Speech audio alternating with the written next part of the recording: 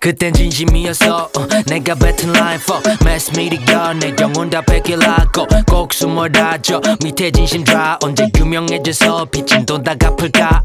몇 년 몇 개 앨범들은 죽을 소 낮엔 일하고 밤엔 다시 춤을 춰. 지치기 직전 나 미치기 직전 저벽 끝에서 내가 떨어지기 직전 uh, Show me the money 내 화면에다 타핑. 형들은 천천히 자라고 있댔지만 급해 난 마음이 누구 대신 살아본 적 없는 내 삶이 많아 깜깜했는지 몰라 nobody 살아야지 다 얼마 남은 시간. 내년이 되면 관둬야 할 것 같았던 음악. 형들을 설득해. 가진 건 불알 두 개. Humantree엔 사직서 난 이력서를 다시 써. 형들과 얘기 나눴지.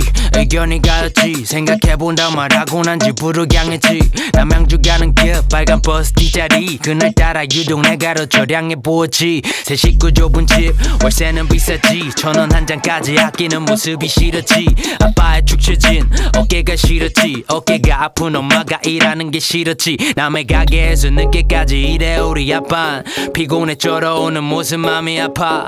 엄마는 아픈 몸을 끌고 일을 나가. 이런 상황에 내가 문제를 왜 고민할까? 이용해야 했어. 가던 시스템을 내가 생각하던 뭐가는 달랐어도 많은 사람들이 내 음악을 듣기 원해서 내 음악을 내가 애초에 시작할 때도 달라졌대 내 태도.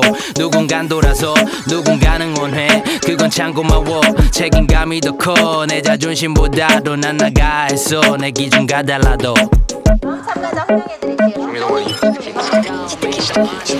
썼어요? 벌려고. 안 벌려고.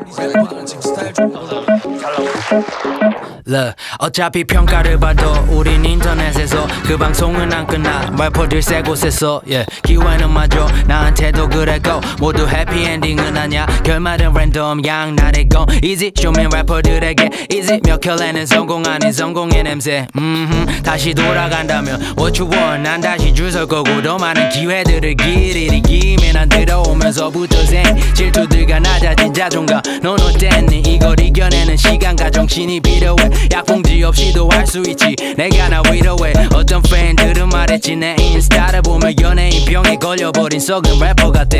난 말했지. 강요하네 내 모습이 싫으면 돌아서도 돼 근데 그런 말들은 내 인생 어느 구석에도 도움 안돼. 어쩌겠어 네가 보는 애가 난데. 완벽하지 않아 난 엉망이었지가 않아. 난 삶에서 계속 꿨던 꿈이 날 만든 거야 마